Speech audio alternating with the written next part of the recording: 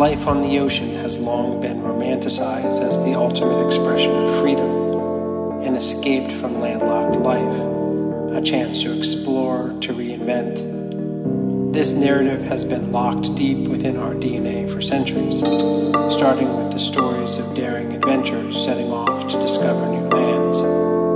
It has also given rise to the puzzling contradiction of the modern day cruise industry, peddling the notion that a massive floating hotel that chugs between choreographed stops to buy local trinkets will provide relief from the predictability of daily life. Even the simple phrase, at sea, seems to carry an implicit soundtrack of possibility and power. power, power,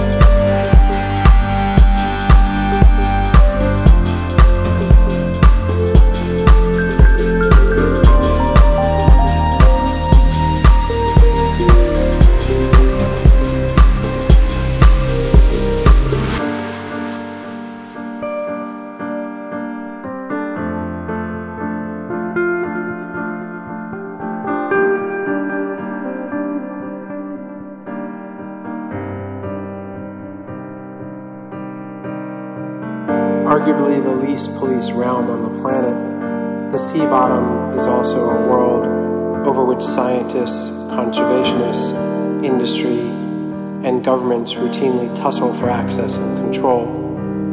And yet we have mapped more of the night sky than we have charted the ocean's depths. Lawlessness on the high seas may be rampant, but deep underwater there are immense voids, literal and legal.